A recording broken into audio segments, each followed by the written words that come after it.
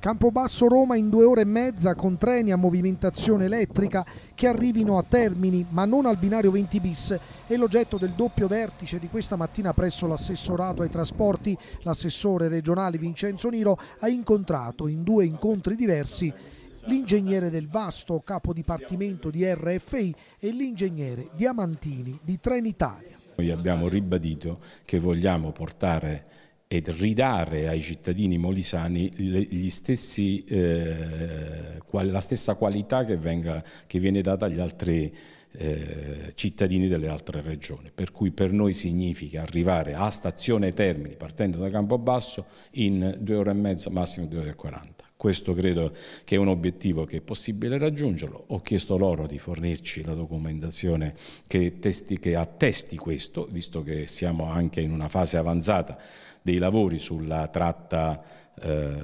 sulla elettrificazione, sulla velocizzazione ehm, del, della, della, tratta Roccaravindola-Campobasso, eh, però eh, buon Dio, se velocizzare significa anche correggere eh, eh, i raggi di curvatura dei binari, significa sostituire le traverse, significa intervenire sui binari, sugli armamenti, sulle stazioni ferroviarie, insomma questo richiede un impegno notevole, io sono convinto... Di, di cosa parliamo? Di quanto è l'investimento? Guarda, l'investimento è quello degli 80 milioni che avevamo già dato, firmata la convenzione, per cui quello è l'investimento. Il tema è che quell'investimento probabilmente eh, va aggiunto qualcosa che sta eh, mettendo in piedi eh, il sistema Rete Italia, quindi ferrovie dello Stato RFI, e, e, e, riguarda l'armamento, riguarda la rete. Per quanto riguarda Trenitalia, eh, hanno un contratto che scade nel 2023, io ho, ho, ribadito loro che chiedo che quel contratto venga rispettato nei minimi particolari.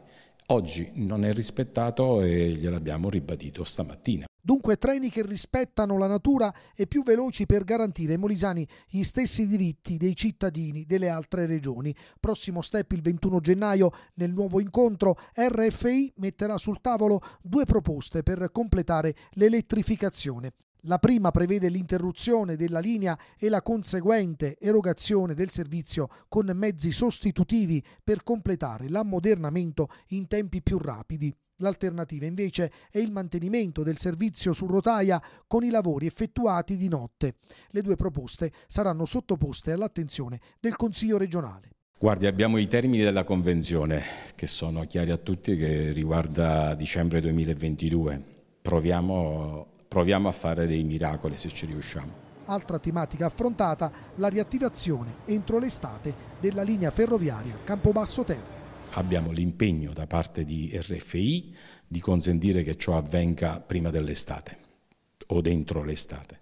E adesso aspettiamo il programma Trenitalia che ci dica in che termini e quando riaccende eh, le tracce, quindi le linee, la tratta, quando, gli orari delle tratte interventi interesseranno anche diversi passaggi a livello che interessano il tracciato, in particolare quelli di Campobasso, per non congestionare il capoluogo di regione.